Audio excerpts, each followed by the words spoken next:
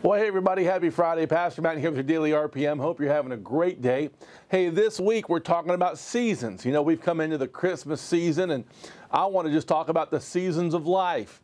I want to remind you today there's a scripture in Genesis chapter 8, verse 22. It's very important.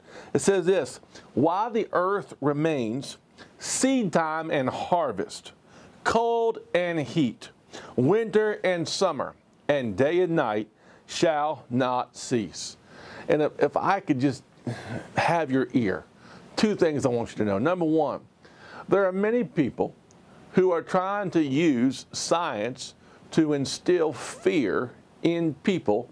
So, and the ultimate thing is so they can have control.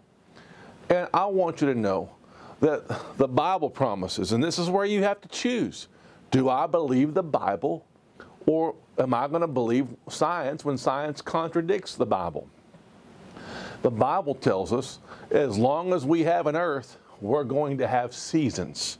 We're going to have winter and summer, cold and heat. And I, I don't know about you, but I'm going to put my faith in the Word of God. The second thing I want you to see is this as long as we're in the earth or on the earth, there are going to be seasons. And when it comes to our spiritual journey, you're never going to get away until you get to heaven of having different types of seasons in your life. And I want to get to the place where we're rejoicing in the good, but also rejoicing in the bad.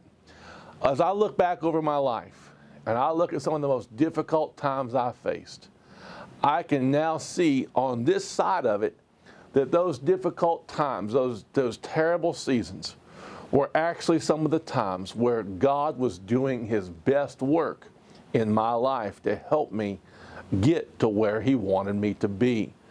And so, if you're going through a good time or a bad time, I want you to know it's not going to be forever. It will change.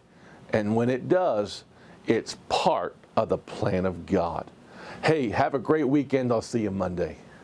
If you like this video, like and share, and follow my dad on Pastor Matt Ministries.